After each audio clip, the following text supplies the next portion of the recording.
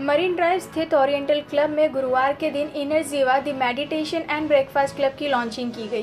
Club की chairman doctor Navnidhi के वाधवा ने इस अवसर पर कई अलग अलग कॉलेजेस के विद्यार्थियों को आमंत्रित किया और हज़ारों की तादाद में लोग इस कार्यक्रम का हिस्सा बने।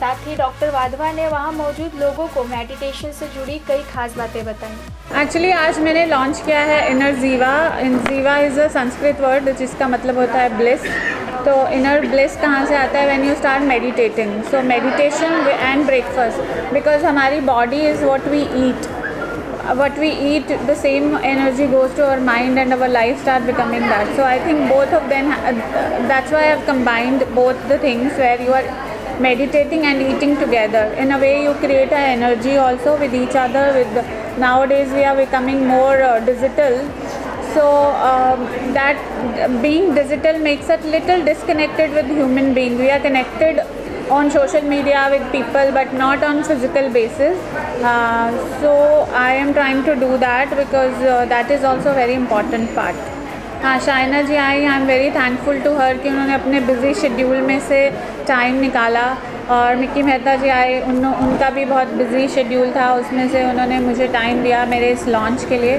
I am really thankful that they both can could make it today and I do it with kids also so that's why I have chosen children's day generally जब पास्ट के बारे में सोचते हैं या फ्यूचर के बारे में सोचते हैं तो मेडिटेशन का बेस है breathing exercises so when you start breathing हम जनरली जब भी टेंशन होता है तो हमारी मदर्स बोलती है, लंबा सांस लो, लंबा सांस लो you will feel better because when you start breathing and start counting your breathing pattern so we come in the present so being in the present, being in the moment is the biggest thing to have. क्योंकि हम generally future में रहते हैं या past में रहते हैं तो इसीलिए टेंशन में रहते हैं।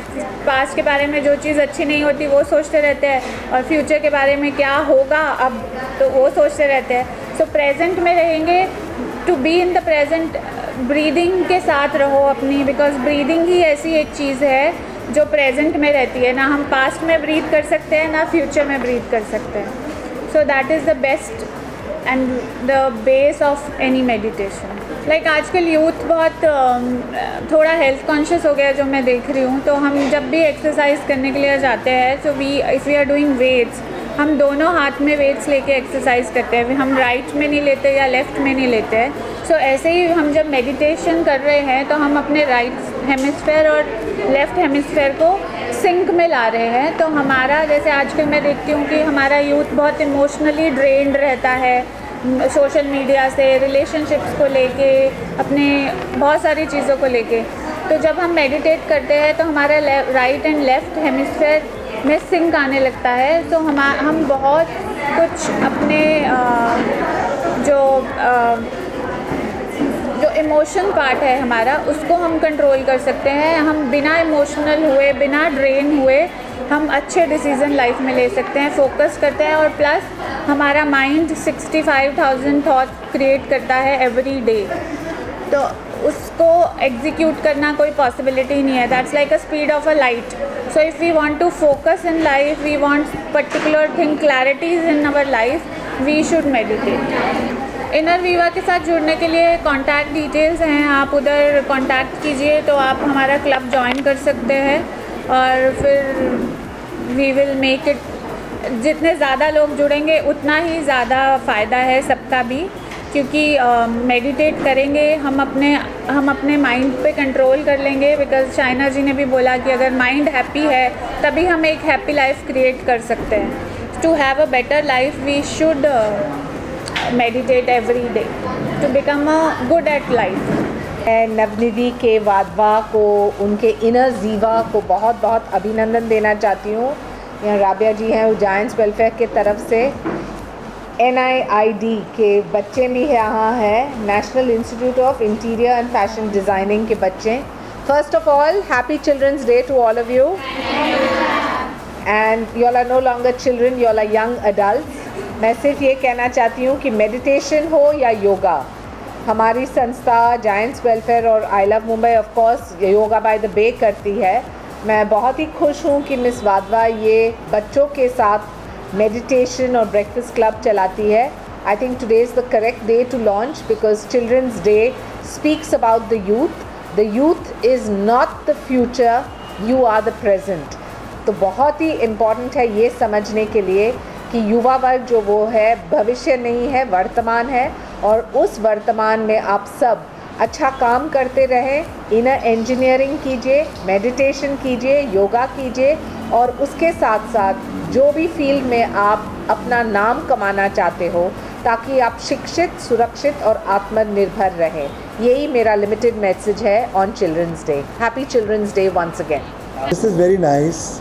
Navnidhi means something new, and this is a very old trait of wisdom that meditate. Meditate का मतलब है शांत रहना। शांत बैठ जाना। कुछ नहीं करना। मेडिटेशन करना नहीं होता है। मेडिटेशन कुछ नहीं करने को मेडिटेट बोलते हैं। कि ध्यान में बैठ जाओ। तो ध्यान किस चीज़ पे रहता है? खालीपन में। खाली स्पेस पे ध्यान रहता है। और जब स्पेस खाली होता है, तब चैतन्य की जो, जोत है, वो हम में जागृत होती है। और ये चैतन्य की जोत से हमारा बोध जागृत हो जाता है। हमको सूझने पर लगता है सब। और मेडिटेशन से हमारे अंदर की जितनी भी वृत्तियाँ हैं, हमारे अंदर की जितनी भी एंडोक्राइन सिस्टम है, जितने भी ऑर्गन्स हैं, सब रीओरिएंट होते हैं। अच्छे से काम करने लगते हैं, सेहत के लिए बहुत अच्छा है। स्वास्थ्य अच्छा बनता है क्योंकि स्वास्थ्य का जो, उसका जो ये है, परिभाषा है, स्वास्थ्य की परिभाषा, स्वयं में स्थित होना। स्थित का मतलब है उपस्थित। उपस्थित यानी होना टू बी और ऊपर वाले की, ऊपर वाले की उपस्थिति में होना in the presence of the divine light जैसे हमने बताया कि जैसे लोग बोलते हैं माइंडफुलनेस तो it is actually empty mind of thoughts but full of awareness of light when the mind is empty of thoughts and full of awareness of light, उसको हम ध्यान बोलते हैं। और ध्यान जब यहाँ से चाइना गया, जापान गया तो ध्यान का ध्यान हो गया ध्यान का जैन हो गया। और खालीपन को जैन बोलते हैं। और यही खालीपन से हर चीज़ की उपलब्धि हो सकती है। अगर कुछ खाली होगा तो उसमें से सारा संसार, सारा विश्व निकलेगा। खालीपन में से ये पूरे विश्व का जन्म हुआ है। है कि नहीं?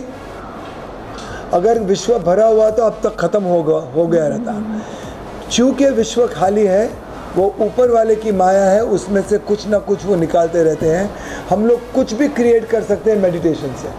So meditation is a creative art it is a performing art it's a productive art और meditation is a healing art self healing art आप अपने आप को भी हील कर सकते हो, जिसको हम बोलते हैं तन दुरुस्ती तन की दुरुस्ती। मेडिटेशन से तन की दुरुस्ती होती है, फिर हम लोग मंत्र जप करते हैं।